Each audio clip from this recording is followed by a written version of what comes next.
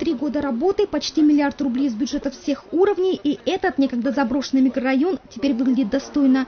Но, как показал обход, покрасить дома, отремонтировать ливневки, пешеходные зоны и проезжую часть оказалось намного легче, чем приучить людей жить в чистоте. Мусор почти под каждым кустом. По словам представителей управляющей компании, вечером убирают, утром опять горы пакетов и бутылок. Домкомы разводят руками.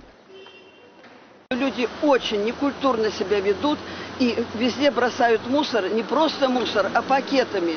Из окон выбрасывают мусор. Это непорядочность, это бескультурие людей. Надо по каждому дому провести э, собрание, по-человечески объяснить, что нельзя этого делать.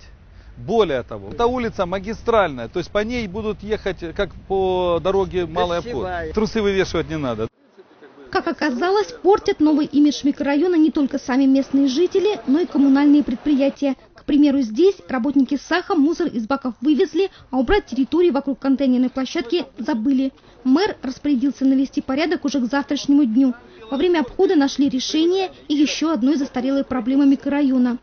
Долгое время сочинские автолюбители считали, что гараж на муниципальной земле без разрешения можно поставить где угодно. Но время самоуправства закончилось. Вот результат. Но с учетом того, что в микрорайоне Донской действительно сложно с местами для машин, муниципалитет решил, что в частности здесь появится плоскостная парковка. Но главная проблема микрорайона – затянувшаяся реконструкция улицы Донской. Третий год строители не могут сдать в эксплуатацию два важных объекта дорожной инфраструктуры – подземные переходы. Последний срок окончания работ, который озвучили подрядчики, 1 сентября этого года. Когда вы заканчиваете? В октябре. А?